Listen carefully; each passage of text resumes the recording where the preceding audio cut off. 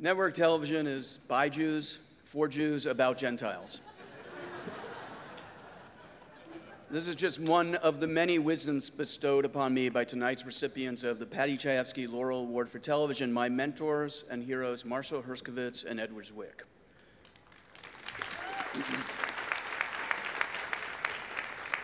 when I first met Ed and Marshall, I didn't know what to make of them. Recently finishing 30 something, a show that did nothing less than reinvent the medium, I expected them to be less accessible.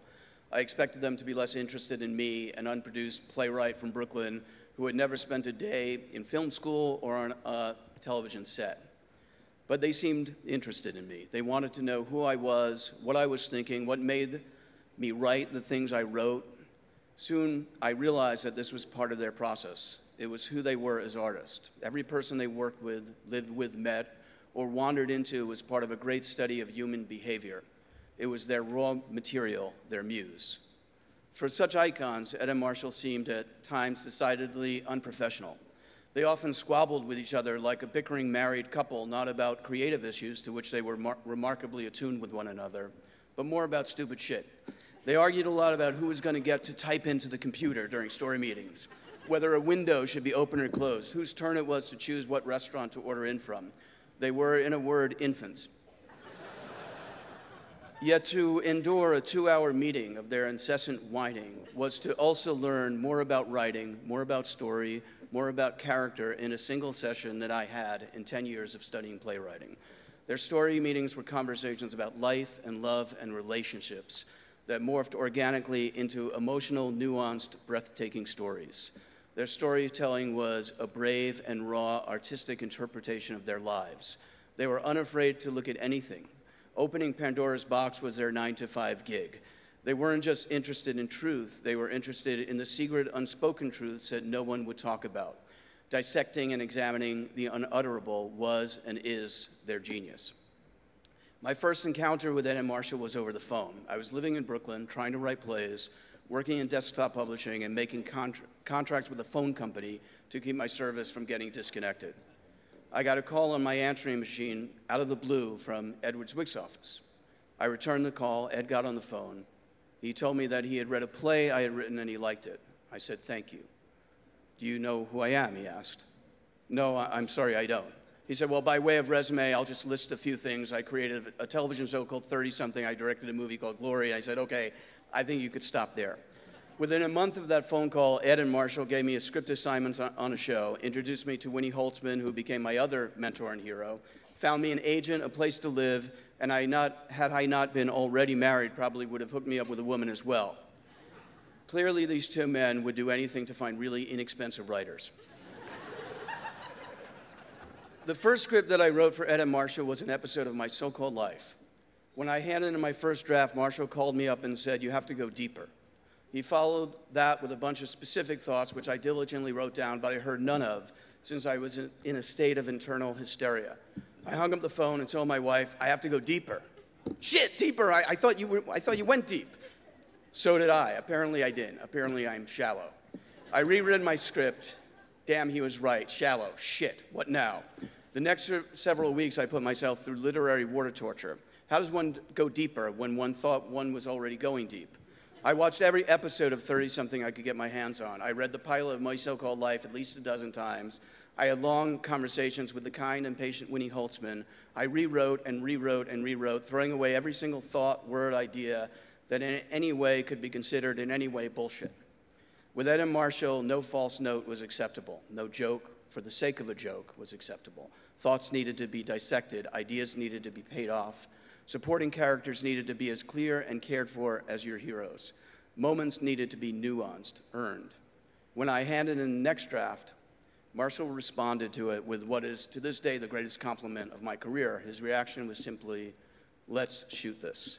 The high of that moment lasted until Ed returned from a location scout a few days later, read the script, and had a note himself. Apparently, I had to go deeper. Marshall Herskovitz and Edward Zwick, as creators, writers, directors, and producers, have worked together for three decades under their Bedford Falls uh, company banner. They have forever changed the way we think of television, which so, so shows such as 30 something, My So-Called Life, Once and Again, and Quarter Life, as well as the telefilms Extreme Close-Up and Special Bulletin.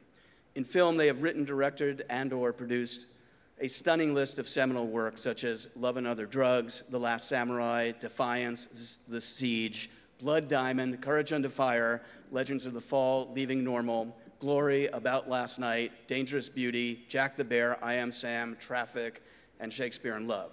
They have been honored with nine Emmy nominations and have received four Emmy Awards. They have received two Writers Guild Awards, three DGA Awards, AFI's Franklin Schaffner Award, two Humanitas Prizes, two Golden Globes, a BAFTA Award, as well as an Academy Award nomination for producing the film Traffic and an Academy Award for producing the film Shakespeare in Love.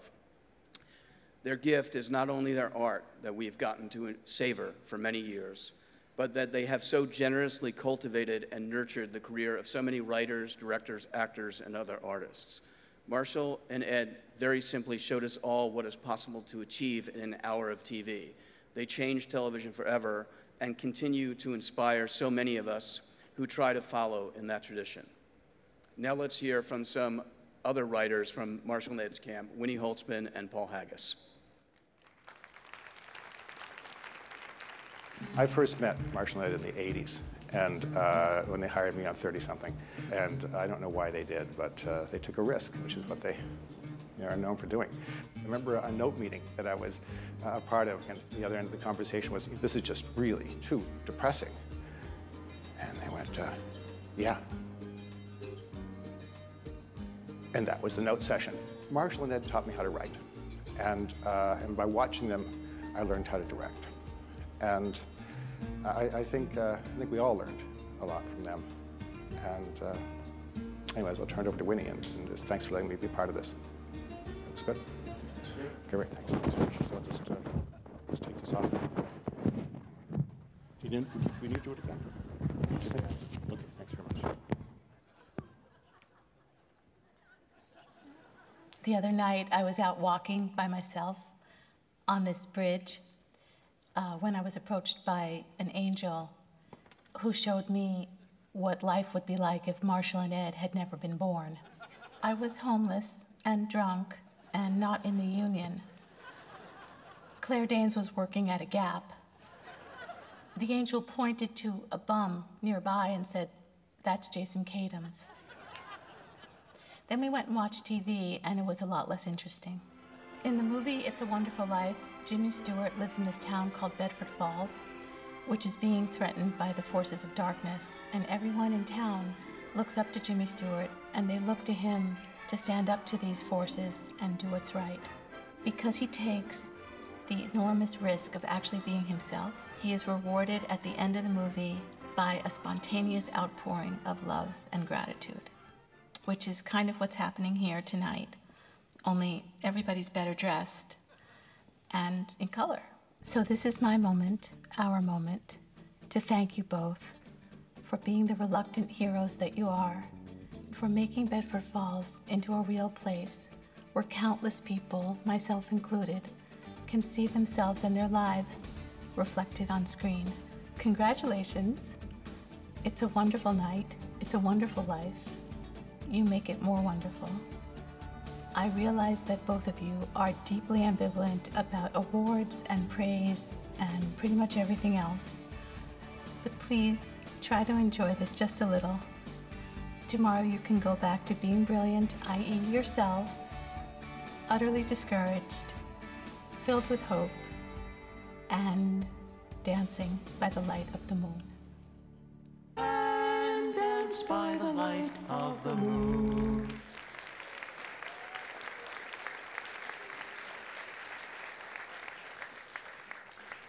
Paddy Chayefsky Laurel Award for Television is the WGAW's highest honor for television writing, given to writers who have advanced the literature of television and made outstanding contributions to the profession of the television writer. It is my privilege to present this year's Paddy Chayefsky Laurel Award for Television to Marshall Herskovitz and Edward Zwick.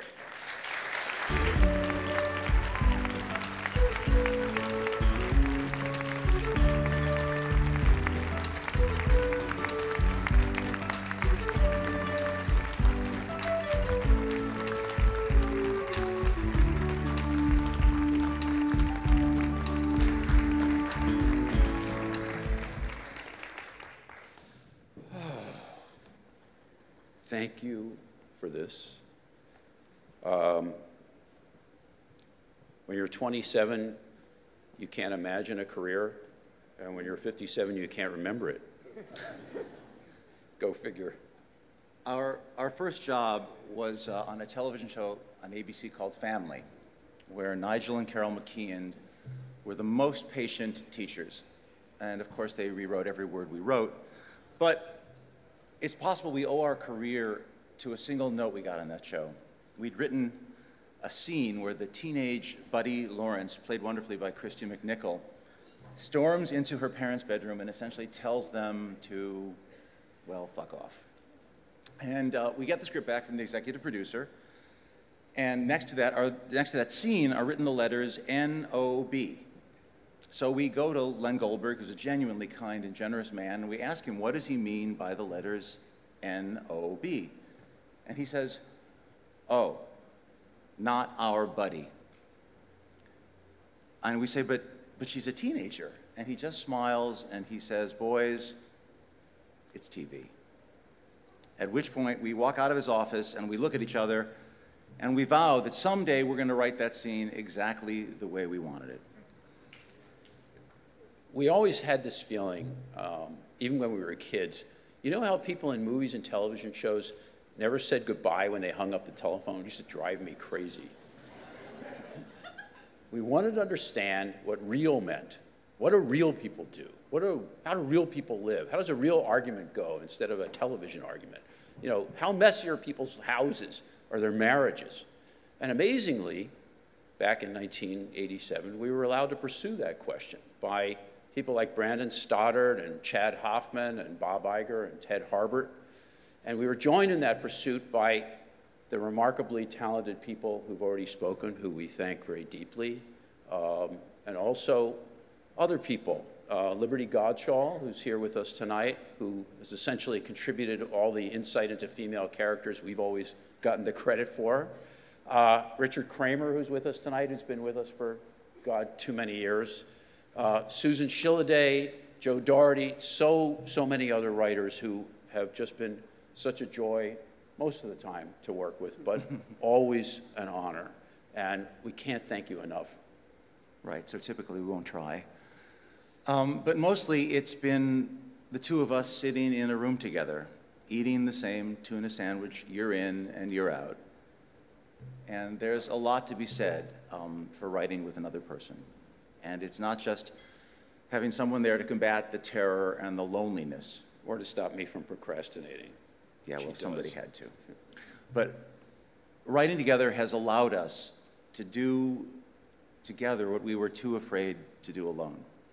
See, when you're by yourself, inevitably you come up against your shame and your inhibition. But when there were two of us, we came to realize there would be these, these weird moments when one of us would be talking and suddenly stop and get this, this look because he was thinking something he was too embarrassed or too vulnerable to say. And inevitably, that was the moment. And the other person would say, What? What are you, what are you thinking? Say that. Write that. And that would always be the gold, the secret, private experience that it turned out that everybody would share and say, Oh, yeah, I know that. That's, that's me. And of course, the next day we'd look at it and what we'd written and we'd hate it and we'd have to write it again. Which, after today and all of this, this amazing award, and all the wonderful things you guys said, uh, is what we still have to do tomorrow, even though it's a holiday. We just will start again, face our doubts, our fears, the horrors of a blank page. It's all the same, except, of course, tuna has mercury in it, so now it's turkey sandwiches. but um, thank you for this. Uh, we will keep trying to deserve it. Thank you very much. Thank you.